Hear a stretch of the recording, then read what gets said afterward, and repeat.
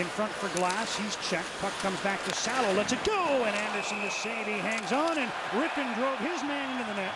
Tucker comes in to have a word with Rypien after Ryan Wilson wound up behind his own goal line. And now we do have a fight. Glass has dropped the gloves with McLeod. McLeod tries an early right.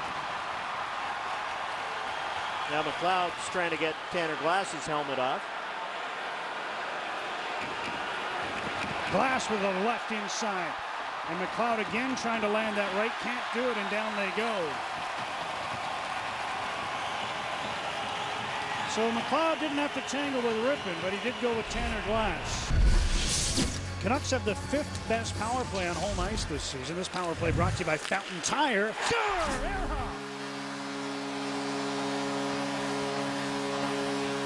It's a special teams night, and the Canucks with one on the power play or within one.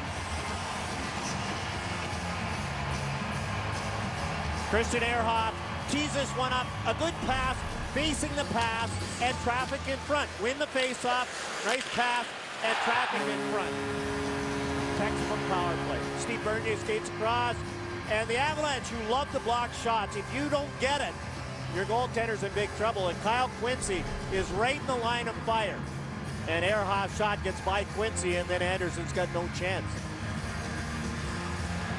Samuelsson follows up. In front, both Raymond and Kesler missed the puck. Now Raymond centers. Ehrhoff scores! His second of the game. And he pounds the glass in celebration. It's a 2-2 tie. Well, again, Mason Raymond, and how many times have we seen this in the past two weeks? where Mason Raymond gets in on the forecheck, first guy there, and then the nice little pass out. Ehrhoff the wrist shot. Craig Anderson gets a piece of it, but not enough. Mason Raymond, the little button hook in the corner. And Kyle Cumiskey is in no man's land. He's too deep. Ehrhoff off the blue line. Off the post, off Anderson's glove, and in. Fifth of the year for Ehrhoff. Two of them tonight. And the first two-goal game of his career. Hansen by himself with the Canucks changing, takes his time, waiting for help, finds Burrows, centers, Henrik scores! The poise of Alex Burrows, and the Canucks have their first lead. Well, how about the play by Jannik Hansen? And we were just criticizing him for not stopping on the goal. But this one, he button hooks and waits. Head up, head up, head up. Look at that play by Hansen. And now Burrows with the spinorama to Henrik, who's going to the net. John, we talked about this before the game, how Henrik Sedin now, he's getting these kind of goals where he just heads to the net. It's not pretty, but it is pretty to play. But for Henrik Sedin, it doesn't require a whole lot of talent. You're just there. Lucky number 13 for Henrik Sedin. On pace to shatter his career best in goals, which is 22. Ehrhoff again, fakes the shot. Side of the net, tipped in, Bernier.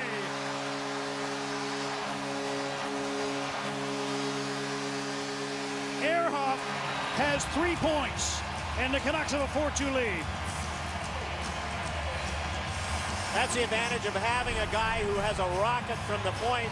You have to take care of him. Ehrhoff, now everybody goes to Ehrhoff. Liles, look at how close Liles is to Ehrhoff and that leaves Bernier wide open at the side. They have the inverted pyramid, so there's only one guy in front. And Bernier just tips that perfect feed from Christian Ehrhoff. Look at this, big fake fake. Look at how close Liles is to Ehrhoff. Schneider now. Samuelsson for Schneider,